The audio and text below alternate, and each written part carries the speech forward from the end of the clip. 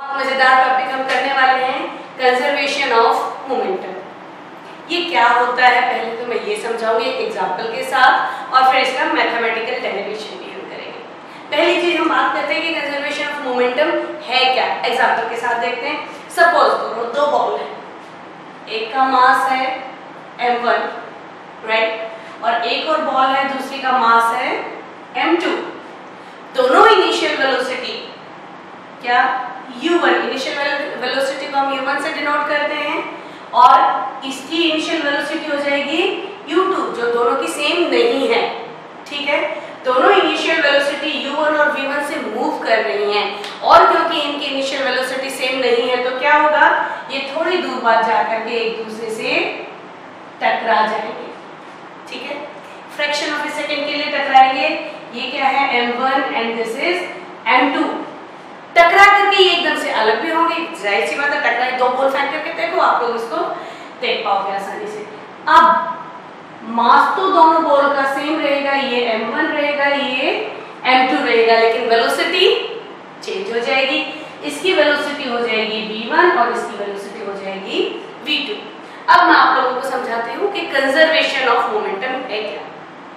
Momentum क्या है? पहले हम देख लेते हैं। मोमेंटम इज़ इक्वल टू क्या है? P m v, p is equal to m v. ये हमारा मोमेंटम होता है राइट अब देखो, वो ये कह रहा है कंजर्वेशन कि दो अगर बॉडी ऑब्जेक्ट है, उनमें कुछ मोमेंटम है और वो आपस में बीच में टकराते हैं, टकराने के बाद फिर से अलग हो जाते हैं तो total momentum of these two bodies individual नहीं टोटल इसका मोमेंटम प्लस इसका momentum will equal be this का मोमेंटम एंड इसका मोमेंटम करके दिखाती हूँ पहले मैं आपको, फिर मैथमेटिकल डेरिवेशन निकालेंगे देखो ये ये कह रहा है कि इसका मोमेंटम होगा तो क्या होगा? That will be p1 is equal to m1 u1 और इसका मोमेंटम प्लस करेंगे क्योंकि हम टोटल मोमेंटम की बात कर रहे हैं। P2 क्या हो जाएगा? P2 is equal to uh, m2 and u2 ये इसको यहाँ से मिटा देती हूँ ताकि आप कंफ्यूजन ना हो। इसका मोमेंटम इसको यहाँ लिख देती हूँ। P1 है क्या? M1 V1 और P2 क्या है?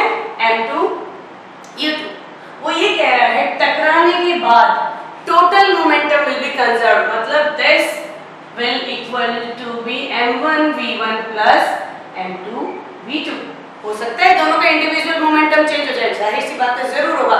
But the total momentum before collision will equal to total momentum after collision समझ आ गई ये बात? है क्या? अब इसका मैथमेटिकल डेरिवेशन ले लेते हैं। मैथमेटिकल डेरिवेशन के लिए हम क्या करेंगे? देखते हैं।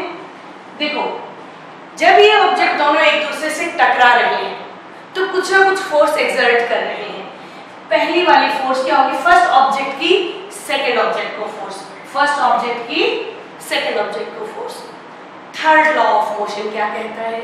थर्ड लॉ ऑफ़ मोशन कहता है there is equal and opposite action reaction to every action मतलब जितना फोर्स ये इसको लगाएगा उतना ही फोर्स ये इसको लगाएगा लेकिन डायरेक्शन क्या होगी अपोजिट होगी तो फोर्सेस दोनों मतलब इसकी फोर्स कौन सी सेकंड वाले की फ़र्स्ट को बराबर होगी, लेकिन डायरेक्शन अलग चेंज होगा तो डिफरेंट होगा तो क्या हो जाएगा? माइनस अपोजिट जिस डायरेक्शन में ये इसको फोर्स लगा रहा है, उसी डायरेक्शन में उतनी फोर्स लगेगी but force will be opposite इसीलिए क्या हो जाएगा? F first to second will equal to be minus F second to first now second law of motion सारे लॉज याद करा देती हूँ आप लोगों को.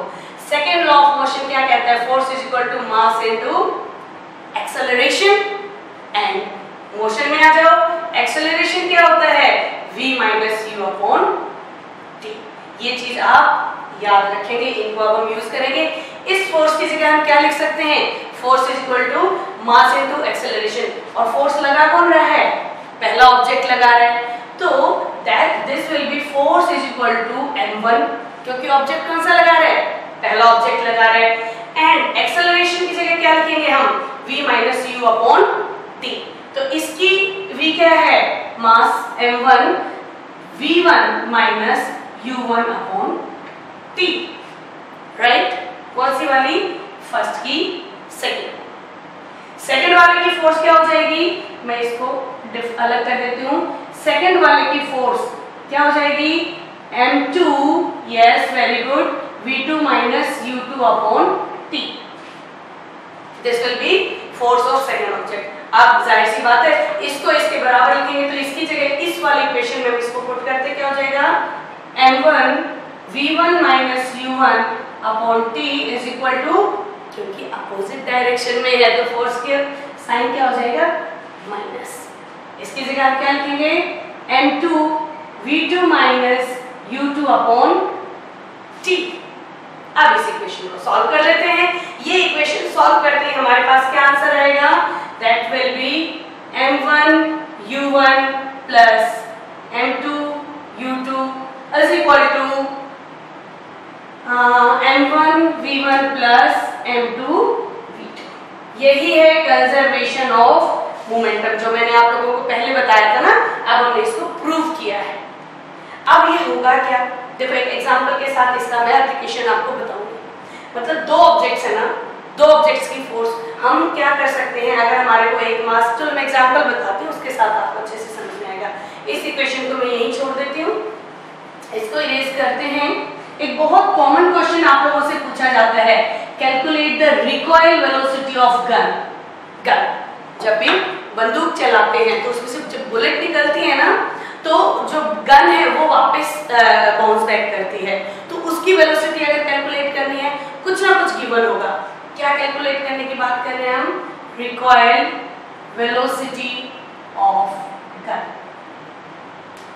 मान लेते हैं गिवन है आप लोगों को mass of gun is equal to से फॉर एग्जांपल टू के कुछ भी हो सकता है, ठीक है? Mass of mass of bullet से फॉर एग्जांपल आपको 20 ग्राम दे दिया right velocity after firing fire करने के बाद velocity of bullet after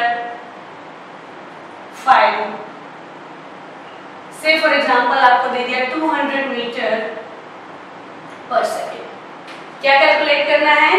recoil velocity देखो हमें क्या क्या गिवन है अगर हम इसको मास m1 मान लेते हैं, इसको कन्वर्ट पहले तो कर लेते हैं ग्राम में ये ध्यान रहे कि यूनिट्स हमेशा सेम होनी चाहिए। अगर ऐसे कैलकुलेट कर दो तो क्वेश्चन गलत हो जाएगा। तो ये mass of gun let it be m1 right mass of bullet let it be m2 initial velocity दोनों ही रेस्ट में थे। ना गन चली, ना बुलेट चली। तो इनिशियल वेलोसिटी u1 और u2 दोनों क्या हो गए? ज़ीरो ठीक है? ओके वेलोसिटी ऑफ़ तो ये क्या हो गई? V2 इनकी वैल्यूज़ पुट कर दो इस वाली इक्वेशन में देखो, आपको आ जाएगा। आपको निकालना क्या है? V1 निकालना है। ये कैलकुलेट करना है आपको। V1 recoil velocity of gun value put करेंगे। Mass m1 is 2000 gram multiplied by u1 कितना है? Zero plus m2 is m2 कितना गिवन है 20 ग्राम मल्टीप्लाइड बाय u2 क्या है? ज़ीरो इज़ इक्वल टू ये तो ये तो सोचना ही ये तो सारा का सारा ज़ीरो हो गया, है ना? इक्वल टू क्या है? Mass m1 is 2000 gram multiplied by v1 calculate करना है right v1 plus m2 is 20 gram into v2 क्या है? 200 मीटर पर सेकेंड यूनिट्स आप बाद में इसके लगा लेना और इनको सॉल्व करना मैं अभी आपको खाली ये बता रही हूँ how to calculate equal velocity ये तो क्या होगा ज़ीरो कैलकुलेट क्या करना रहेगा खाली v1 कैलकुलेट करना होगा हमारे पास तो क्या हो गया? 2000 into v1 plus 200 into 20 into 200 v1 आसानी से आप इधर ले आएँगे और कैलकुलेट कर देंगे। सो so, इसको आगे हम अभी छोड़ देते हैं आपके लिए। कैलकुलेट कीजिए थोड़ी सी मेहनत करो सॉल्व हो जाएगा। कहने का ये मतलब है कि कंजर्वेशन ऑफ़ मूवमेंट को कैसे सॉल्व करेंगे? M1 u1 plus m2 u2 is equal to m1 v1 plus m2 v2 अगर हमारे को दो ऑब्जेक्ट्स हैं दो के मास दे रखे हैं दोनों की इनिशियल हो सकता है इसमें तो इनिशियल दोनों रेस्ट में थे तो इनिशियल वेलोसिटी ज़ीरो थी। हो सकता है इनिशियल वेलोसिटी कुछ गिवन हो, तब आपको इनिशियल वेलोसिटी पुट करनी होगी। जो भी चीज़ें डायरेक्टली आपको इस फॉर्मूला में पुट करना है आंसर आ जाएगा। राइट कैलकुलेशंस कीजिए और इस टॉपिक को भी परफेक्टली तैयार कर लीजिए। और अपने दोस्तों के बीच शेयर करना ना भूलें, जिससे कि सारे बच्चे पढ़ें। तब तक के लिए गुड बाय